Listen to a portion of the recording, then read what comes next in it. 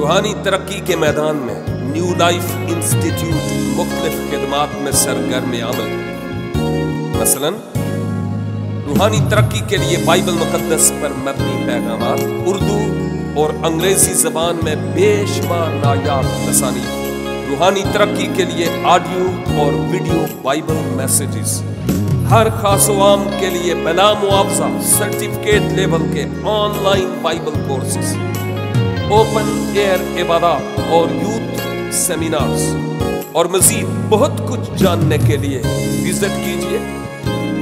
W W W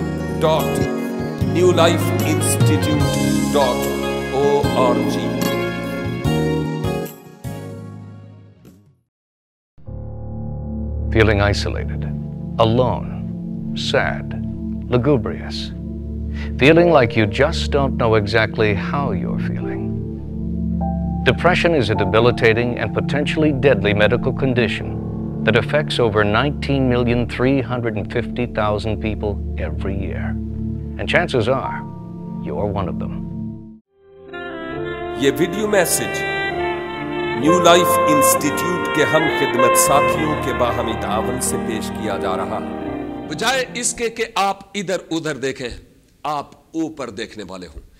یہ ایک بات تھی جو میں آپ کی خدمت میں بیان کر رہا تھا۔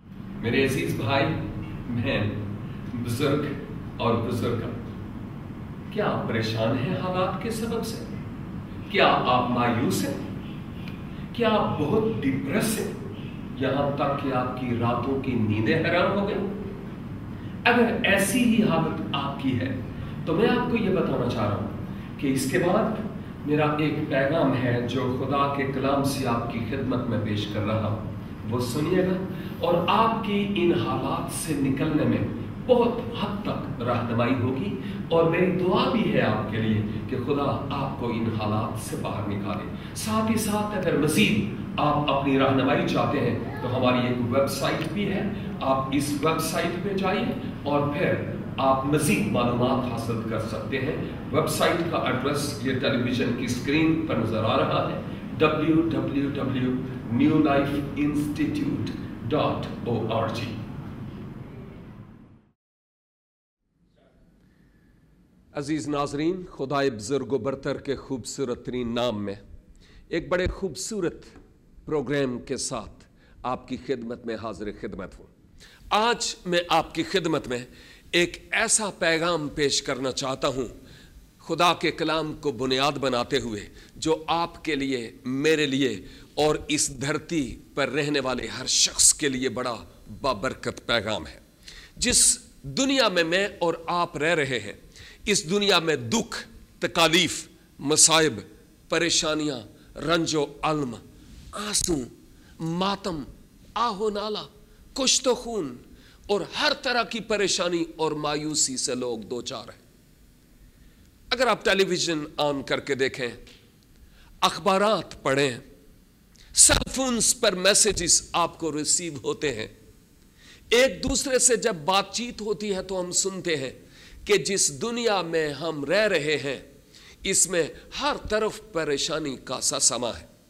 اگر ہم دور نہ جائیں، اپنے وطن عزیز اس پاک سرزمین یعنی پاکستان کی بات کریں تو آپ کو خود پتا ہے، مجھے آپ کو بتانے کی ضرورت نہیں ہے کہ اس پاکستان میں اس وقت کتنے زیادہ مسائل ہیں۔ اس وقت جب پیٹرول پمپ پر کھڑے ہوں، آپ میں سے بہتوں کو پتا ہے کہ گیس سٹیشنز آہستہ آہستہ اور زیادہ اپنی گیس فراہم کرنا بند کر رہے جب آپ پیٹرول پمپس کی بات کریں تو شاید پٹرول، اب کئی پیٹرول سٹیشن جن کو میں جانتا ہوں، وہ بند پڑے۔ بجلی کا بحران ہے۔ اور وہ لوگ جو کچی آبادیوں میں رہتے ہیں، وہ اس کے بارے میں جانتے ہیں کہ وہاں کیا حال ہے۔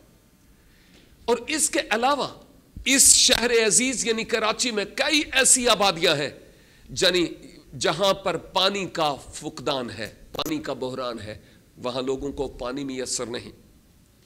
بے شمار لوگ ایسے ہیں جن کے پاس روپے پیسے کی کمی ہے، کاروبار نہیں ہے، آئے دن سٹرائکس ہیں، لوگ پریشان ہیں اور ٹیلی ویژن اور اخبارات اس بات کی گواہ ہیں کہ کئی ایسے باپ جو حالات سے لڑ نہیں پائے، ان کا مقابلہ نہیں کر پائے۔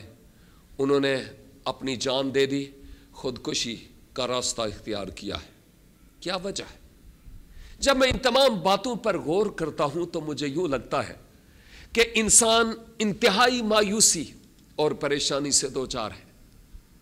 ہر طرف وہ سوچتا ہے کہ آخر میرے لیے کوئی بھلائی کی کوئی بات ہے کہ نہیں، میرے لیے کوئی امید ہے کہ نہیں۔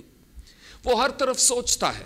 شاید آپ بھی جو اس وقت اس پروگرام کو دیکھ رہے ہیں، آپ بھی انتہائی مایوس ہوں۔ شاید آپ کے حالات، مالی حالات ایسے اچھے نہ ہوں جیسے ہونے چاہیے۔ شاید آپ کی خاندانی زندگی اس طرح کی نہ ہو جس طرح کی ہونی چاہیے۔ شاید آپ اولاد کے سبب سے تنگ اور مایوس اور پریشان ہے میں جہاں کہیں جاتا ہوں، ہر طرف مایوسی کے سیاہ بادل تاری نظر آتے ہیں۔ لوگ پریشان حال ہیں۔ لیکن میں آپ کو یہ بتانا چاہ رہا ہوں کہ کیا ہم اپنی اس پریشانی کو لے کر بیٹھ جائیں؟ کیا ہم مایوس ہوتے چلے جائیں؟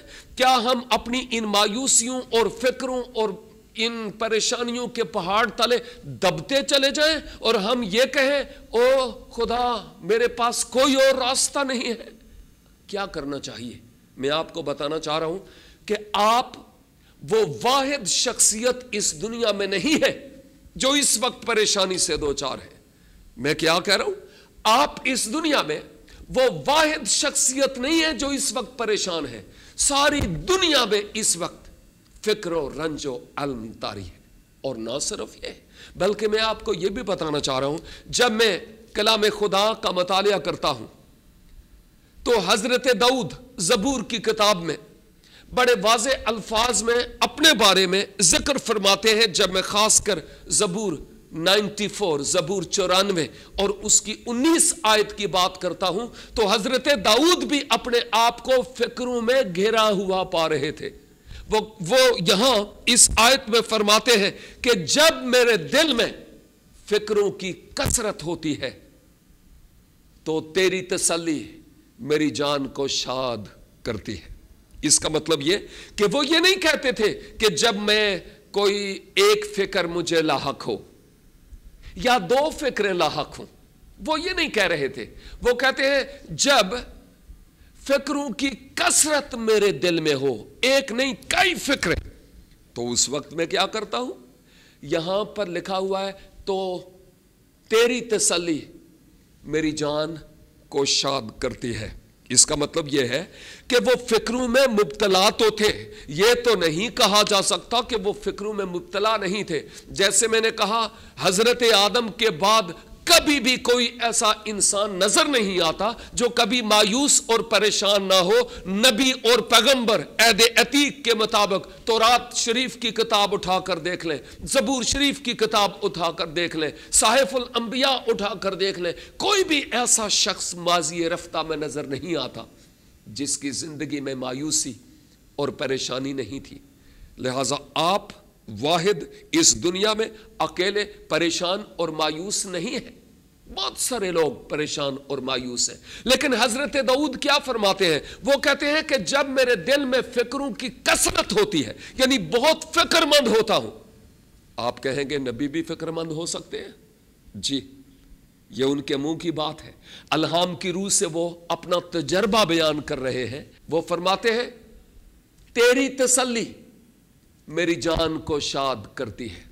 اس کا مطلب یہ ہوا کہ وہ جانتے تھے کہ جب وہ لفظ تیری استعمال کرتے ہیں تو وہ اوپر والے کی طرف اشارہ کر رہے ہیں۔ اور وہ فرماتے ہیں، گویا دوسرے لفظوں میں کہ جب میرے دل میں فکروں کی کثرت ہوتی ہے، تب کیا ہوتا ہے؟